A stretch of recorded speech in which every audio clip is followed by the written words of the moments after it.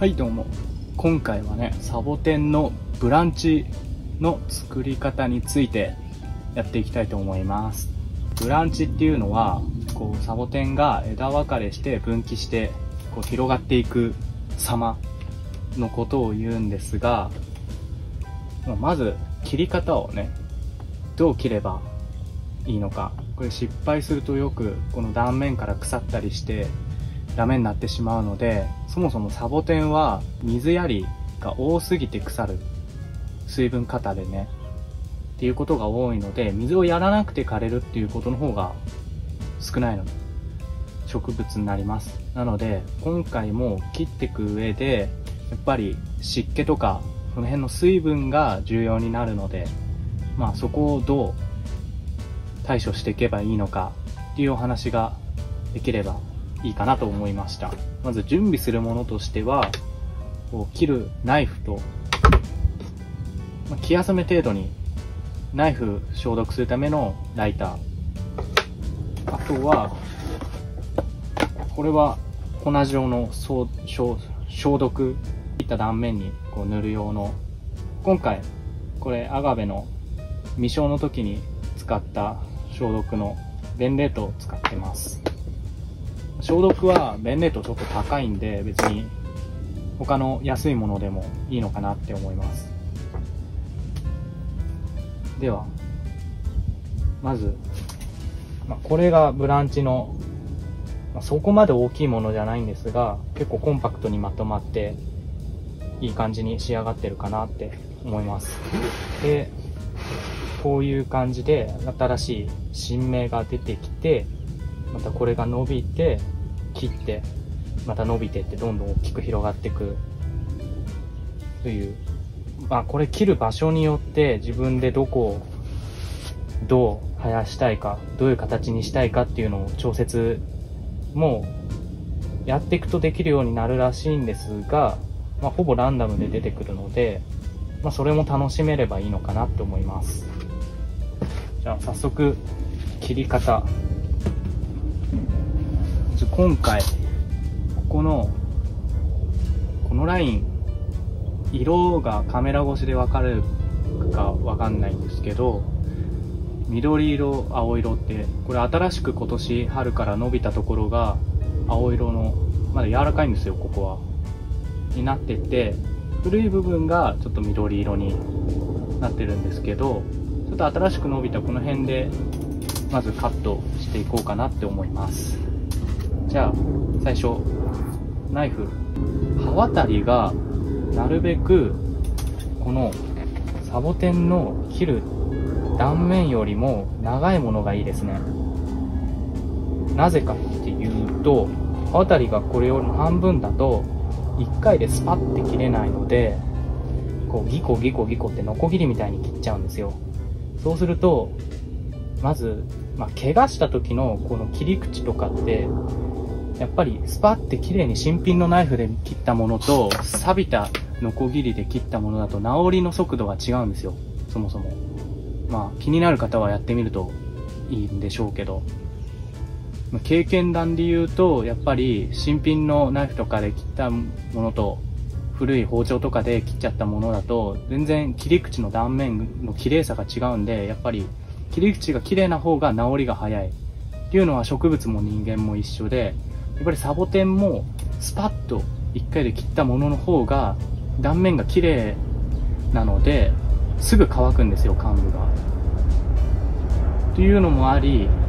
なるべく切れ味がいい新品で刃渡りが長いもの。なので、まあ、新品の包丁とか古くても、まあ、ちゃんと研いでればいいのかなと思います。なのでこのナイフでもこのサイズが限界かなって。こっち切るってなるとちょっと短いなっていう風になります。あとは1回でスパッと切るんですけどこう何て言うんですか？こう押して切るんじゃなくて引いて切るんですよ。っていうのも押して切ると、まあ、果物とか野菜とか切る時もそうなんですけど押して上から潰して切ると断面潰れてるんでぐしゃっていう風に割れるように切れちゃうんですけど引いて切るとスパッと切れるのでやっぱり手とかもそうですよね。こうやってやるよりもこう切った方がよく切れる。なのでここもこうちょっと斜めに入れたらシュッと引くように切れれば。で切れ味がいいナイフだとそんな力も入れずにスパッと切れるのでそのようなやり方で今回はやっていきたいと思います。でまずライターで。これ火炎消毒っていうんですけどやっぱりちょっとやるだけじゃなくて数秒やんないと意味がないのでもうちょっと刃の断面の色が変わるぐらいまで消毒してあげます。と少し黒っぽく焦げみたいになるのに焦げてるんだろうな。まあこれでやっていきたいと思います。で切る場所を決めます。で新しい新芽が生えてくるっていうのがここのトゲがあるポツポツポツってところなのでここのトゲのちょっと上を狙って切ると、まあ、ここから次出てくる確率が上がるので、まあ、次の場所2箇所だけ生やしたいって時は2箇所だけこのトゲを残してあとは落としちゃうとかするとうまく調節ができるという説、まあ、今回はとりあえず適当に切ってもいい感じになるんだろうと思いここで1回で切ってみます。まあ、シュッとは無理だな。こう引いて、なるべく引きながら、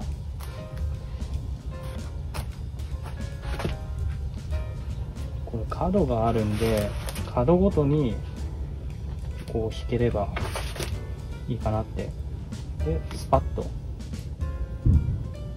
角ごとに引いて、引いて、引いて、最後一気にシュパッてやれば、まあ、大体平らかなって思います。で、ここが切れた断面なんですけど、ちょっと中が黒いんで、鎖が入ってるかもしれませんので、ダメ、もしかするとこれはダメかもしれないです。で、そしたら、これでポンポンポンと全体的に粉をまぶしていきます。でこの粉まぶす時にあのあんまりついた感じがしないんですよ見た目が。なんですけどちゃんとついてます。っていうのもこれで粉ついて時間が経ってくるとこう全体的に白くなるんですよ。もうこんぐらいで十分かなって。いうのも何週間か前に切ったものがあるんですけどこれこんぐらい白くなるんでこれが乾くと。断面見るとちょっと膨らんできてるんですよ。で膨らんできてるともう植え付けても完全に乾いてるんで大丈夫かなって。これがここまで白くて膨らんでない状態。例えば3日ぐらい放置してまだこんぐらいの時にこう刺しちゃうとやっぱり鎖まだぐじゅぐじゅしてるところとか乾ききってないところから水やりとかして鎖が入っちゃって枯れちゃいましたっていうのがよくある失敗の多い点なので完全に白くなって断面が膨らんできたら植えますで植える時も、まあ、これポットでも何でも地面でもいいんですけど、やっぱり水やりはしません。基本的に1ヶ月ぐらいそのまま刺して、それでもサボテンって発根するので、発根してぐらぐら動かなくなってきてから水やりますね。でまあ根張ってるか張ってないかってこう、揺するとすぐわかるんですけど、張ってるなってこうやった時に分かってから初めて水やりします。それまではやっぱりこっちの切った方も水やりをすると